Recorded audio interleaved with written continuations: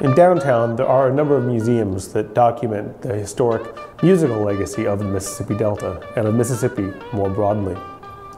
But there's one store where visitors and tourists can actually buy the tools that made that music. Blues Town Music. Owner Ronnie Drew is a lifelong musician and a native of Clarksdale. And inside his store, he greets visitors from all over the world. His store seems like a place out of time. In a digital age, when people buy everything online and when making music usually involves computers, Drew's store looks like it could have come from a different era.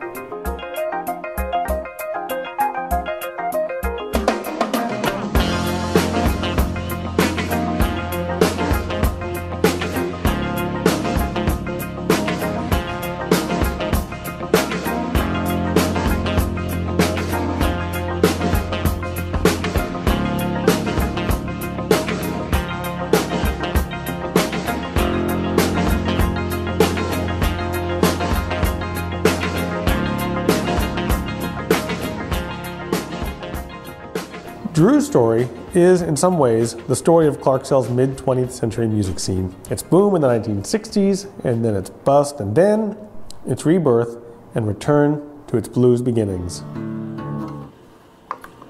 They're um, camera tune when you need them. I mean, how, how has the blues tourism helped your business? Though? I mean, it seems like you're in a Yeah, prime location yeah. for all that. Without without the uh, tourism, yeah. we wouldn't be here. Really? Yeah. Um, I'll sell strings and Mm-hmm. you know smaller items to locals. Uh, some some churches do business with me, so about microphones and cables and stuff like that. But most of the guitars that we sell are sold to people from Europe or wherever. And I promise you, Jesse, it's like I think I've met somebody from every country in the world. Quick story on that. Um, had some people that came in one day. Um, they had a different look about them and all, and, and they were from an island, a Pacific island called New Cambodia, which I had to look up.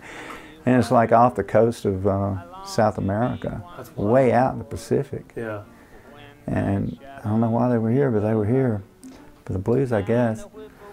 And that particular day, I was talking to these people a lot, and these people came in from um, New Zealand, and I was telling them, you know, these people from New Cambodia, they're like, yeah, we've heard of that. Da, da, da, da. And this guy in the back goes, how about uh, Tasmania? Oh, I said, no, I hadn't met anybody there. And he goes, you have now. You know, so. and the fields of snowy white. There's a feeling I can't. Ronnie's early life in music was aided by Clarksdale's legendary Levine's Music Center. get that Mississippi Delta. Yeah, yeah. So tell me again about you know, The Levines. Um, at Reds, right?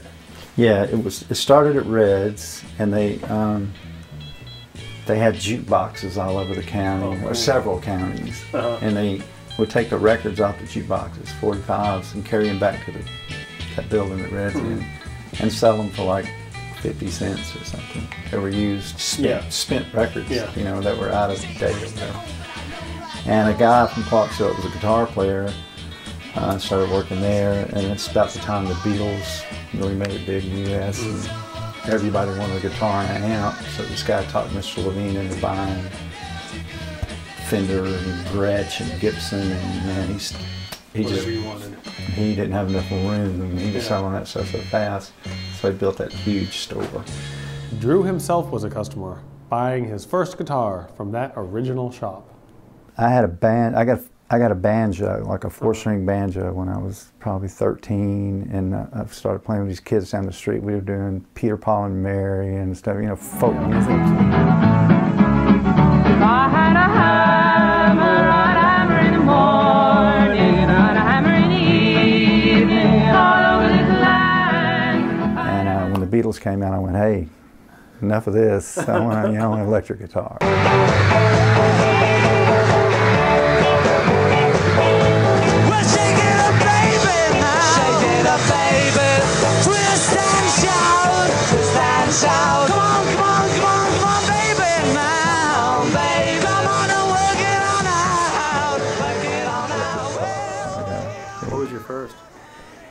Was a uh, Catalina, uh, which now they call it a Vanguard. I wish I had one. I usually have one, but I don't have one right now. Just a little inexpensive. I think my mother paid thirty-five dollars for it used. You know, and I took it home and I got my sister's fingernail polish red and touched up all the nicks on it. so I started working on that guitar that night. Yeah. So hadn't stopped. Yeah. well, I'm still. I don't use fingernail polish anymore, but yeah. Still- a little a little touch up, yeah. A little, not real, not a whole lot more professional than that. Okay. Okay. A few years later, when Ronnie was in high school, he went to work in Levine's new store. It was a great job. That's what made me always want to do this. So I guess I wanted to do this most of my life. and I finally did it when I was a lot older. Yeah. As a teenager working at Levine's, Ronnie Drew and his bandmates would sometimes head north to Memphis to go to those music stores. Needless to say, the store owners there would give them strange looks. When we would go to Memphis Yeah. looking for a guitar, they would go, well, what are you guys doing up here? Man, you got Levine's down in Clarksdale. We go, well, Mr. Levine won't give you a deal on anything. His band was playing all over the region, playing for frat parties, dances, and the like. He remembers they opened for some big names on occasion. Who'd you open for? Uh, Johnny Van Zant. Um, and that's uh, Point Blank was a big band that we played in front of. And some of the Memphis bands like Target and Creed. Um, we played once in Greenwood in front of Steppenwolf. I think they needed us more for our equipment than they did our talent. Christians, some would burn the witches. Ladies, slaves to gather riches. But one year in party seek America, they came by thousands to court the wild. But Jesus patiently smiled. Um, so when did you open this place? What, what's the story? Um, it's 13 years, August. So um, I was working full time, and some friends of mine had um, this next room.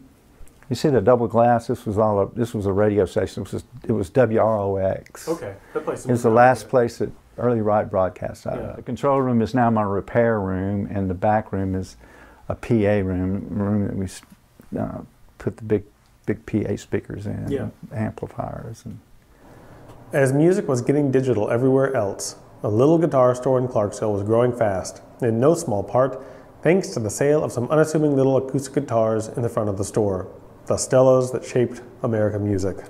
a lot of these. Well, these are like my best-selling instruments. These old Stellas.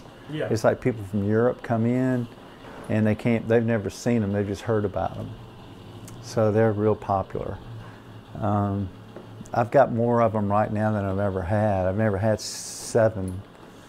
There's another one by the front door. Yeah, because what's the history with Stella? All the old blues guys. St- yeah, the blues guys played them. Yeah.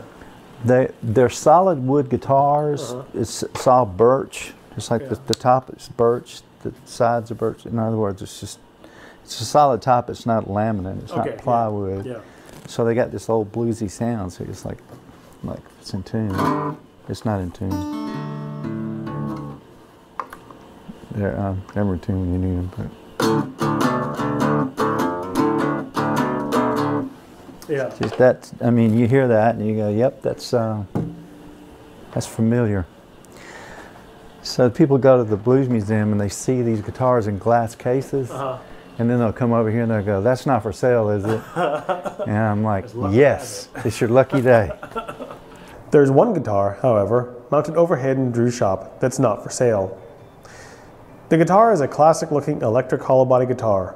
It's a Kent Americana. My dad bought that guitar for me when I was just starting to play, like at 14. Uh-huh. And I think some, when I was 15 or 16, he, he took it and traded it in and bought the Gretsch guitar that I was talking about earlier. So I was on eBay when I was working at this bank down here. I would have spare time and I'd Yeah. get on eBay and I saw that guitar and I thought, that's not only just like the one I had, but it's the same color as Uh-huh. the one that I had. Well, when it came in, it was the guitar that I had. No. It's me playing that guitar at Conway Twitty's on Moon Lake Oh wow. in this band called Jerry and the I heard Lamplighters. about Conway Twitty's and Moon Lake. That's that's that Kent Americana is what it's called. Kent Americana.